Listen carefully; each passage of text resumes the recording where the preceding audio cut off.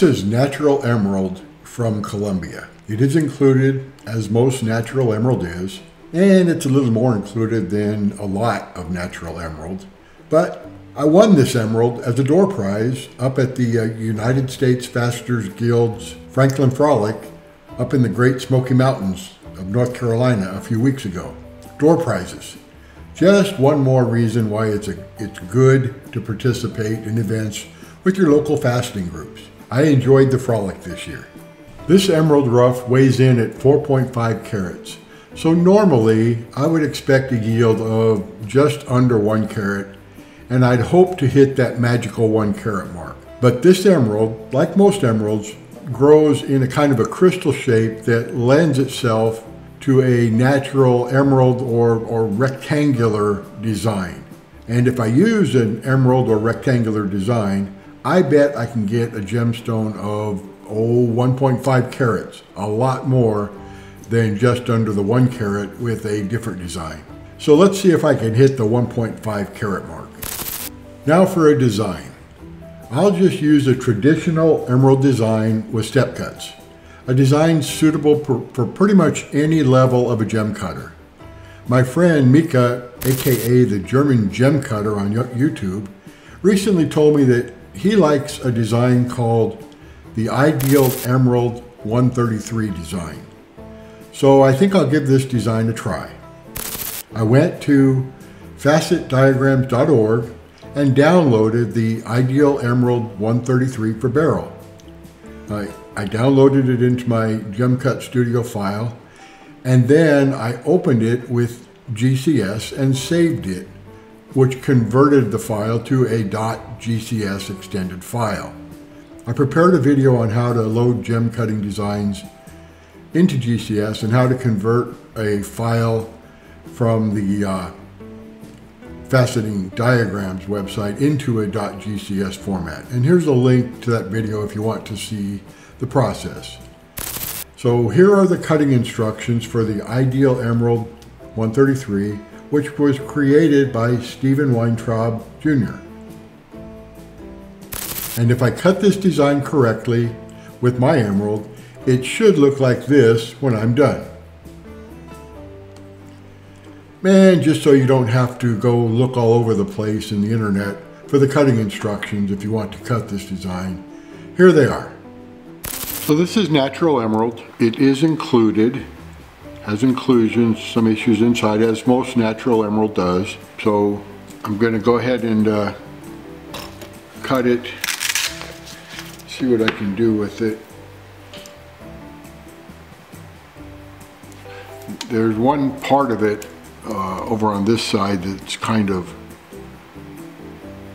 very included. So I'll probably, I'm not sure if I'm going to end up with an emerald shape or a square shape. But it's a nice big piece of emerald. It's uh, 4.5 carats, so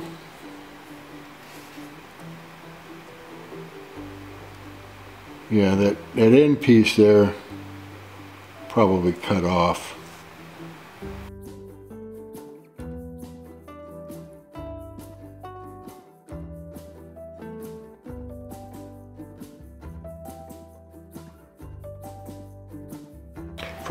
Emerald crystal, what we do is we want to set it in our uh, spindle of our Ultra Tec machine. So we put the index tooth at 96 and then we want the horizontal kind of the crystal to be at that 96 index. So we set it in our uh, spindle that way and lock the set screw and lock it in place and we're ready to start uh, preforming our emerald. Okay, I've gone over our emerald with a 3000 grit lap. Now, uh, I switched and I'm not using my bat laps with 3000 grit diamond on this stone. And the reason is because this emerald, most emerald has inclusions and this emerald uh, is no exception, has a lot of inclusions. And so if you use the bat lap with 3000 grit diamonds or the bat lap with any grit diamond slurry, you're going to end up with right here. You see that? That's That was uh, with 3000 grit diamond on bat lap, but that's all going to get cut off because that's uh, when I cut the upper half, that black line there, that's the slurry from the uh, lap getting sucked into a crack. so whenever you're working with a stone with fractures, uh, be cautious of, of the bat laps. But for other things, bat laps is awesome.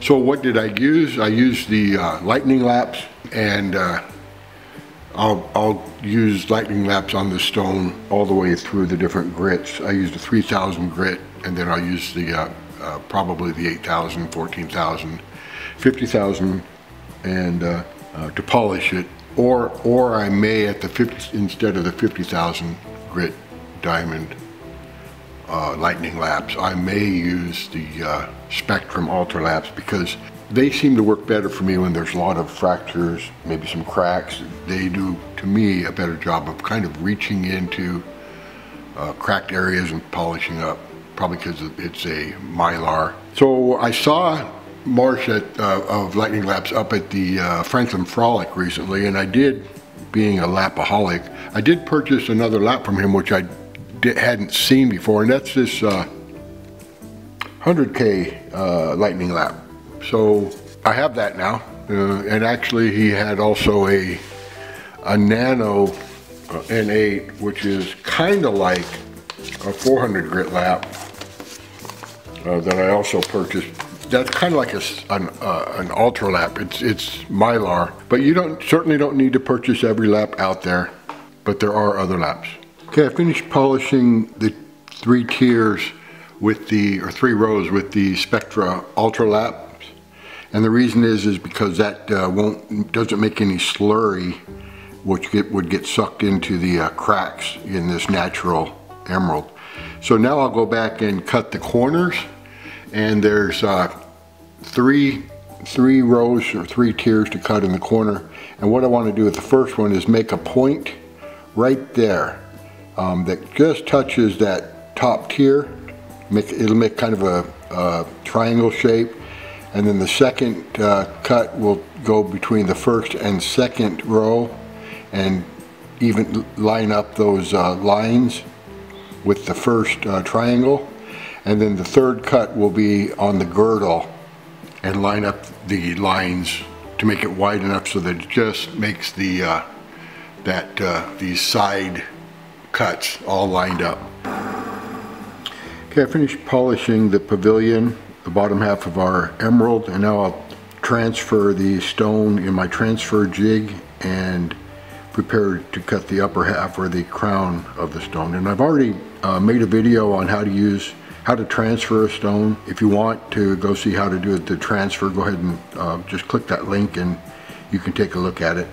Okay, I finished polishing the upper half, the crown of our emerald and now I have the table to cut and polish so I will uh, do that next and we'll see how it turns out. Okay, I finished polishing the table of our emerald so now I'll soak it in the acetone to remove the uh, the adhesive from the dop and then we'll weigh it, measure it, and uh, send it off to Bopie.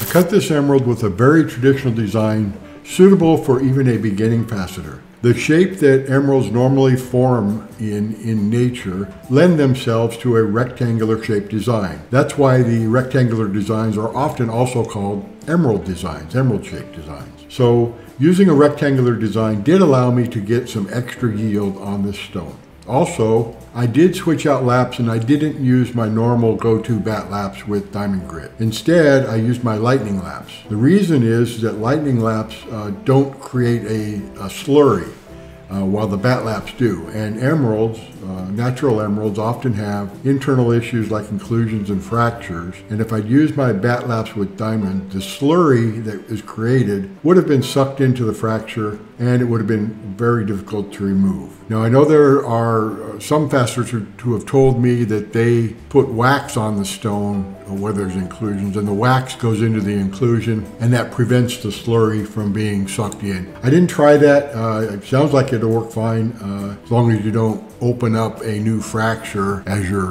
as you're working with the bat laps because if you do then the slurry is going to get sucked into that new crack once that crack breaks the surface. But that's a, a way to get around it and use the bat laps, I understand. I know there are some cutters out there who who advocate for only using a very small handful of laps and they use those laps for everything they cut. I can't remember the number. It seems like they said four, I don't know, maybe five laps. Well, every cutter has their own preferences, their own likes and dislikes about laps, and their own uh, laps that they like to use. Uh, if you want to work with a smaller number of laps, more power to you. Super. But for me, I like having different laps available, even if I don't use them every day. It's kind of like having the right tool in the toolbox that you can pull out when you run into issues or a problem facet or an included emerald. This stone is just a perfect example. Bat laps with diamond slurry would have been a problem. So I was very happy to have lightning laps in my tool back box.